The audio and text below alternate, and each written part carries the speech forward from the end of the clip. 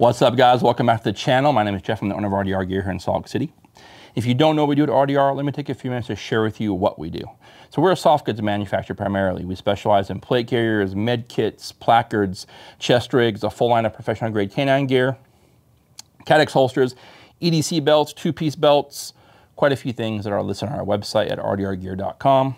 If you have questions on an order, a pending order, a future order, let us know. We'll get you hooked up, and that's info rdrholster.com is our business email. With all that out of the way, let's talk about two pistols that this past year I think are two some of the two of the best pistols that were released this year, but also two pistols that had quite a bit of uh, negative press and backlash throughout the year, and that's the Springfield Prodigy. Recently, you guys saw the upgrade on the 5-inch Prodigy. And full disclosure, Springfield did send us this gun, um, and it's been running flawless since. We're just shy of a thousand on, excuse me, just, we've hit a thousand on the uh, five inch, and we're just shy of a thousand on the four and a quarter. Uh, and this here has the Steiner. We did an update video on this setup, and I've left it a, this plating system here because I didn't uh, get another RMR plate and we'll talk about that here in a minute but uh, I want to see how long this is going to work. So far it's still held everything's zero. All the mounting system is the same. Everything's squared away, no looseness, no coming apart, etc. But the five inch has been phenomenal. Um, I've changed nothing internally. Uh, trigger, guide rod, uh, recoil spring, nothing's been changed so far. I've been purposely leaving it that way to see uh, if there anything does happen in the future. So the five inch Prodigy video is up on the YouTube channel. If you want to check that out, you're more than welcome to there. So the Prodigy, four and a quarter. This is the commander length gun that they make. Uh, the plate came in yesterday uh, in time for us to film today. And the plate was, it, had been a hiccup. Uh, this gun being what it was and the popular that it was going to create I felt, in all honesty, this should have been ready to roll when the gun came out. This particular pistol did not get sent to me. This was I purchased. Uh, I got this one the day of release from a local uh, store here in Utah. And I was shooting it with irons for since then, but I jumped on that website the same week that the pistols were released and ordered the RMR plate, and it came yesterday. So roughly close to six months, maybe ballparkish. But um, I'm happy about that because I, when I did the video on this one the first time around, I misspoke saying the agency was producing the plates. That was not. It's just a licensed design from Agency Arms to Springfield Armory to produce the plates. The AOS plate is probably one of the best, most robust plates on the market right now. Uh, super well built, very robust, uh, and, and, and locks up super tight. I was just surprised that a gun of this popularity didn't have all the accessories out the gate. I do not know what other plates are going to come uh, after the RMR. I assume that there's going to be some others following uh, Delta Point, probably I would assume an acro plate. Um, I do not know how the acro plate will work. Probably the rear sight may get deleted or reduced in thickness. Uh, so we'll see how all that plans out. I'm excited with the Prodigy uh, because this gun here is just get, getting pretty close to a thousand. Um, I have just, again, as I did in the five inch, maintained it with keeping the lube up. I've been using the gun butter. So if you guys are looking for a, a, an amazing lube, the gun butter works great because the needles on there allow you to put that lubricant right where you need it, and it's phenomenal. Um, these guns will be, I'll be surprised because I've been shooting them on the weekends here and there when I can with time and whatnot um, to see if the elements are going to make an issue here with these two pistols. Uh, shooting winter in 1911s in match times, I've shot them in the past. In the early mornings of a match when we're in those low teens, um, sometimes a gun can get a little sticky.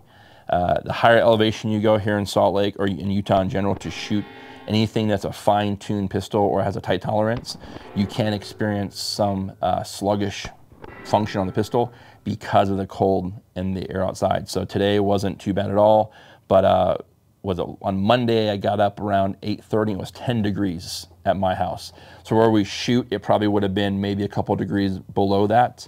Um, and the wind would have been an issue as well because we're kind of in the open range there. Uh, so again, that can affect performance on the pistol. So again, just kind of keep that in mind. Uh, as I mentioned before, nothing's done to the gun yet. Everything stays the same as stock. Same thing with the five inch. I'll run these until I kind of see an issue. But as I mentioned, SHOT Show is three weeks away. Uh, we'll be heading down there. Crispy and I will both be going down there.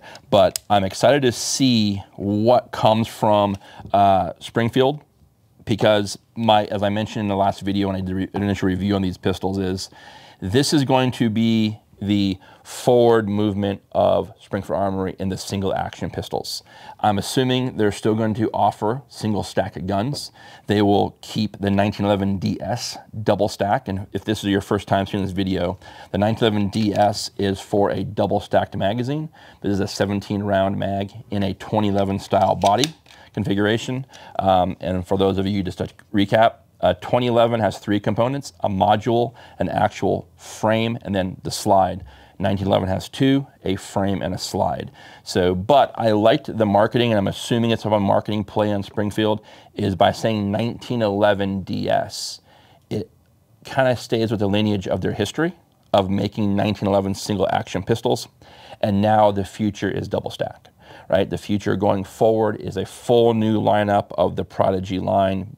One may be being considered like a like a GI model, so to speak, and now you're going to have a enhanced, a loaded, a TRP series, all the way on up, and they'll have different configurations, different features, different function, etc. Um, and I'm excited to see at SHOT Show if any of those new pistols will be on display there, and we'll get some pictures of that kind of stuff. But I really like this gun. Um, there has been a, the turbulence of the initial hate and discontent with this one being compared to a staccato, it wasn't. It's its own gun. This is the launch point for anyone looking to get into a 2011. These are, I believe, $1,500 still, give or take, when you can find them. Uh, the Duramag has been doing well. I'm running different magazines uh, in both these pistols.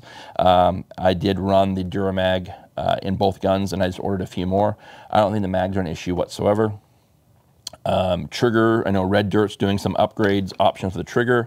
Um, there's some grip modules being done by, I believe it's Vulcan Gunworks and a couple other people as well. Chile, I think, is making a grip module as well. And basically, the gun is a great way for you to get into a 2011 because by the time you bought this gun factory, if you bought everything you see here, red dot and a light, you're roughly going to be around $2,300. That's still less money than a staccato being at 25 to 26 plus your accessories, right? So at, at 2,300, I think most people can, can accept that. When you're getting that $3,000 mark or 3,000 plus for a production built pistol, that's where I think those who are doing their research online and then kind of asking questions to others who have 1911s, that's where it starts to get a little little hectic or a little crazy, right? Because if you came to me and said, hey, Jeff, I'm going to buy a staccato and I'm getting an SRO, I'm getting the porting, I'm getting a weapon light, whatever, what's your total? I think 3,500 bucks. I'm going to tell you to stop, pump the brakes, and do some research and look at, say, like Alchemy Gunworks, right? And the product, or on the high cap, the Quantico high cap. I'm hoping that maybe next year uh, I've talked to the guys over there several times that they would release a Quantico high, high cap Commander. I think that would be a hot gun for them. Um, a 4.4 length, 9 millimeter pistol uh, from uh, Alchemy Custom Weaponry. I think that would be a huge one uh, for them because it would give you that one tier above custom pistol slash carry gun. So I think that's an option for them. But the Prodigy has been doing phenomenal. I'm super excited. I'm glad the plates finally came. This one has been uh, neglected a little bit, but now that has the RMR on here, this will get a lot more play. Um, I'll kind of tinker with it. I'll carry it a little bit, but um, the 1911 DS in both the 4.25 or 4. Point, was it 4.25? I think it is commander length and the five-inch gun. This one running the RMR with the factory OEM plate. This one running the standard MPS with kind of a hybrid conversion plate. Uh, that you can kind of get some information on. This one here from our past video, five inch gun, four and a quarter gun. But if you're looking for an entry level 2011, this is where it's at. If you've made it this far in the video, and you want to see more gun content like this channel and others, let's help train your YouTube algorithm to let you see more of what we do and what other companies do by liking, commenting, and most of all, subscribing to the channel. We'd love to see the subscription numbers increase, but by doing those things, you're going to help your YouTube, YouTube algorithms allow you to see more gun content like this channel and others like it. So as always, thanks for watching, guys. We post two videos every week on gear that we own, gear that manufacture, gear that's sent to us. Until next time, be well, take care.